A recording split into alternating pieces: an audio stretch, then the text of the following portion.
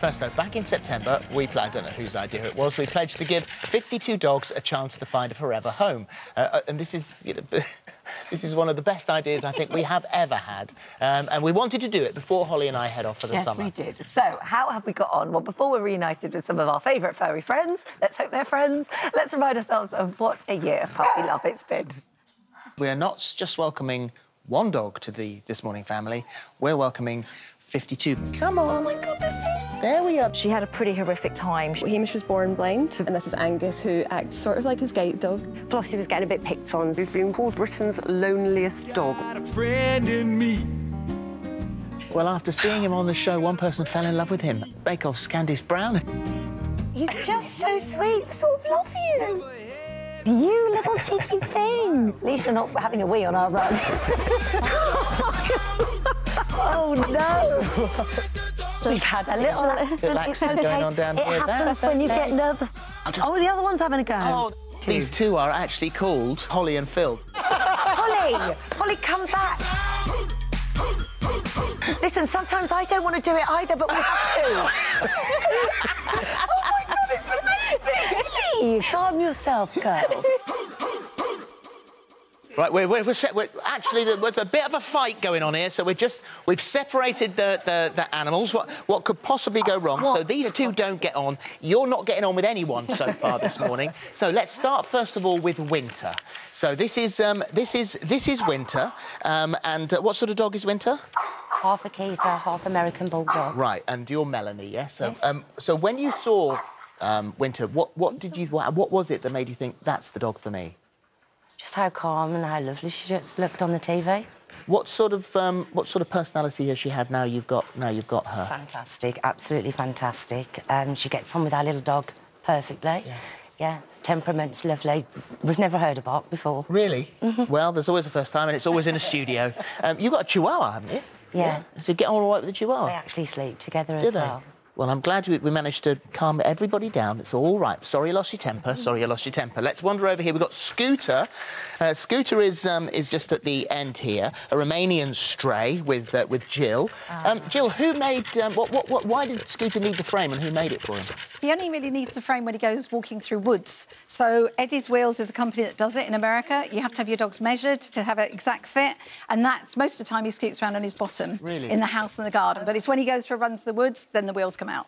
And um, I mean, it obviously it hasn't held him back at all. Nope. What was it that made you think that's the dog for me? Well, I was his foster mum, Yeah. so he was already in the house and he just got his paws under the table, and that was it. really. So you couldn't actually give him up. no, could I have done 28, 29 now, but he's the one that failed me. Yeah, failed foster mum. And then next, uh, next here we've got Lynx and Michelle. Um, so uh, he's been a challenge, you say? A bit of a challenge, yeah. Why? In what way? Because he was actually born in kennels and his heart he can't hear. When he came home, he's chewed my kettle, everything. so we've had to clear the kitchen. But he's settling down now, and he's an amazing dog. Brilliant. Oh, we've got another Dalmatian, and he's brilliant, and he's brilliant with my grandchildren. So he's He's, um, adorable. he's actually doing like just like the, the ad. He's grabbing the toilet roll and running off down the stairs. Oh, that's the new, Lil- Lily's new back. thing. Found her That's the new thing at the moment. When you're in the oh, excuse You all right, me, Lily? going into the bathroom, he will come in after when you're not looking. He would take the whole toilet roll. He's done six yesterday in the garden. Really? That looks like it's snowing. Um, and then we've got Candice here, Candice Brown with um, with Albus. He was called Manny originally, wasn't he? Yes, he was. Um, so you watched the show, and it was quite widely publicised at the time. You saw him on the show and thought, "Oh my God, I have to have him." Yeah, pretty Why? much. Why him? Well, oh, it was just lovely. We've got a pug anyway, and actually, where he come from, uh, many tears, we'd got Sybil from. So we knew uh, the rescue centre, and when we got married, we all donations to them rather than gifts and things like that. So sort of a nice link with him. And then I saw him and his little wonky leg. How and is his just- leg? It's good. It's now straight. So we had it all fixed. It's now straight. It's about three centimetres shorter than the other. So he wa- wonks about, but he's so naughty. Yeah, is he? Yeah. In what way? Uh, just everything you can do. So the phone call yesterday about today, I like, couldn't have been naughty. He was hanging off the back of my dress. like, Well, we got Yeah. look at this Lily down here. Lily only back. does it when she's here. Yeah, she doesn't do it at home. She doesn't do this at home at all. No. And she's so that it's just this sofa. So I wonder It's what just it sofa. I'm Yeah. quite sort of happy we could reunite her with the sofa. Yeah, it'd be nice. And so what was um what was it about Lily that you noticed and you thought, oh, we want us to have her? We've already got a French bulldog at home, and we wanted to have a play friend. Yeah. Um, but I think everything that she's been through, I think she just needed Yeah. some love. And she's settled in all right at home, has she? Oh, brilliant! Absolutely, she's practically rolling the roost now. Really? Is yeah, she? Is She's she? she's done really well.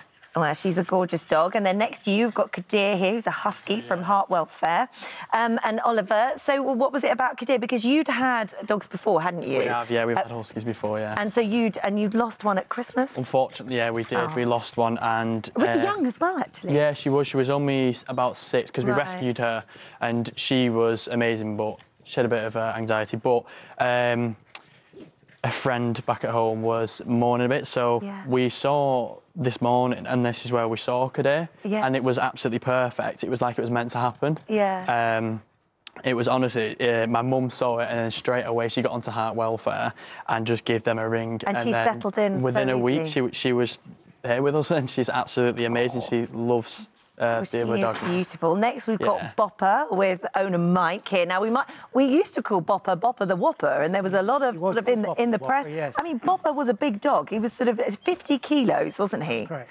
Um, now Bopper looks quite different. I mean, Um, he's 31.9. that's amazing. His fighting weight will be about 30, and then after that, we'll have to sort of say, look, you're going to have to go on a building diet after that. yeah, yeah. and build him up. And a how, bit. how have you done it? Well, we haven't done it. It's, it's uh, actually, he went to the Gables farm in Yeah. Plymouth, um, and we've taken a lot of dogs from them. This is the sixth dog we've had Yeah. from him, uh, from that place. And um, we kept in touch with Gables farm. And I sent a text out saying, telling them about our two dogs, I know what they're doing. Yeah. And they came back and said, would you like Bopper the Whopper? And now you've got and him. that's it, and that's how we Well, got it, he's really. lovely, and it's Looking good, to see him doing Yeah, he's- so he's well. got. So we need a 50 second dog.